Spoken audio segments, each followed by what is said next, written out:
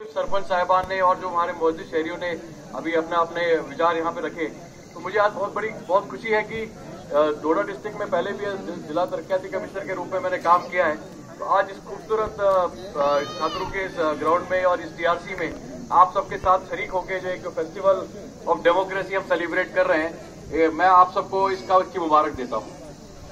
आज सबसे जो इम्पोर्टेंट एक जो मसला है हमारा आप लोगों से मिलने का कि जो हमारे ऑनरेबल लेफ्टिनेंट गवर्नर साहब हैं, उनका एक मैसेज है काम का तो जो पब्लिक से हमारा रास्ता है, उसको बेटर करने के लिए आप लोगों तक एडमिनिस्ट्रेशन आए।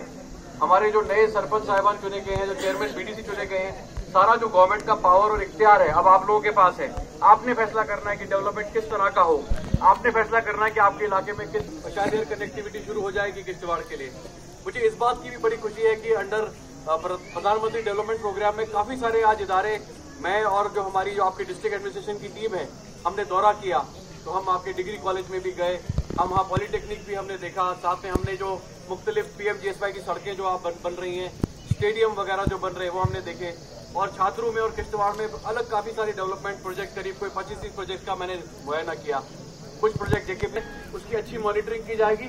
और जो मेरे कलीग्स हैं जो मेरे एडमिनिस्ट्रेटिव सेक्रेटरीज हैं आर के पीएचसी के पावर के या एजुकेशन के, हेल्थ के, उनसे मैं गुजारिश करके आपके जो भी मसाइल हैं, उनको मैं कोशिश करूँगा कि वो आगे आगे निकले।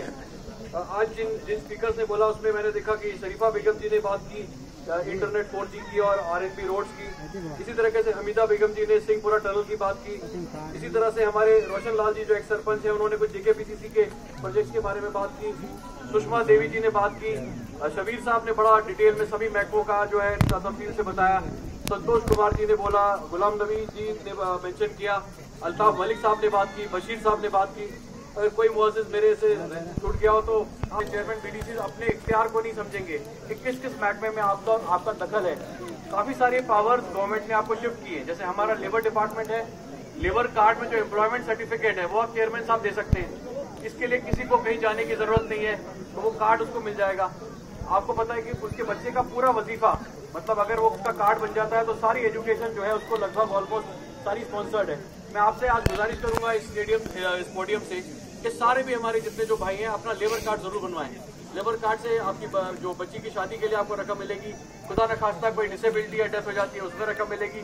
और सबसे बड़ी बात कि बच्चे के तालीम के लिए सिर्फ़ दस रुपए देके आपको पूरे साल भर की जो है आपकी एजुकेशन बच्चों की मिलेगी। इसी तरह हमारी वो दूसरी स्कीम है प्रधानमंत्री जो श्रम योगी मनधन योजना उस स्कीम के तहत भी आपको पैसे मिल सकते हैं। अगर आपको नीचे रकम बचा